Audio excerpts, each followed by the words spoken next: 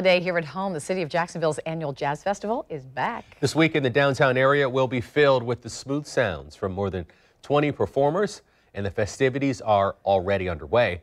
Joy is here with some highlights of what sounds like a, a, pretty great time already, Joy. It was. Tarik Mary, while the Jazz Festival has been a tradition since 1981, organizers are bringing back Jazz Fest After Dark for its sixth year, featuring night performances at certain locations.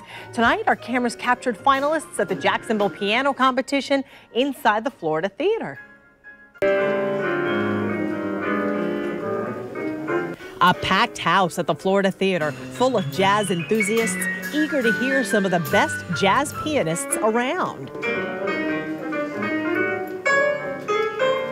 For more than 30 years, the piano competition has been a Jazz Fest tradition. The competition among the five finalists at the Florida Theatre was fierce.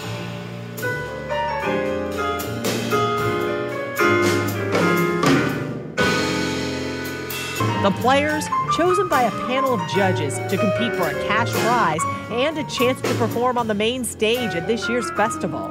The competition open to any age acoustic jazz pianist who doesn't or hasn't had a contract with a record label, and the participants did not disappoint.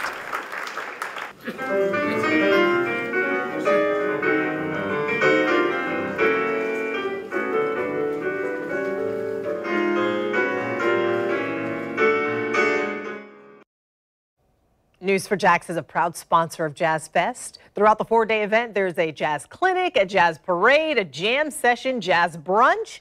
For a complete lineup of all the activities and acts performing this weekend, just look for this story on news4jax.com. You can't help but get lost in this music. It's so delightful. It's so you much know? fun to go around town too, and you just yeah. like the, every different venue, right? And experience new places that you may alive. not have visited. I mean, it just comes mm -hmm. alive with music. But it's going to be hot. It is going so to be, be a hot one. yes.